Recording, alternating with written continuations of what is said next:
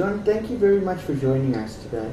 Uh, just a question on the importance of fleet management and uh, the importance of having a proper system in place.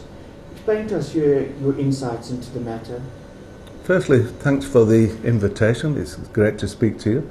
Uh, yeah, I've been in the industry for 30 years now, and uh, uh, I've specialised in the fleet management industry in that period of time. Uh, I've always believed that fleet management is the uh, unsung hero of, of most big corporate companies that run fleets. The, the fleet management industry is, has a critical role to play in all companies that are running large fleets. We believe that uh, the next two or three years is going to be uh, very high inflation if we look at the cost of fuel increases, the cost of maintenance, and of course the purchase of the assets.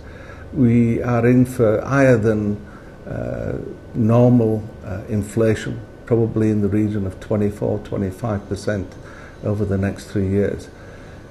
My belief is, is that a proper implemented FleetPro system will save your company money, time, and at the end of the day give you total control over your fleet costs. That control is the basis of implementing policies and procedures that all good companies with good corporate governance should be following.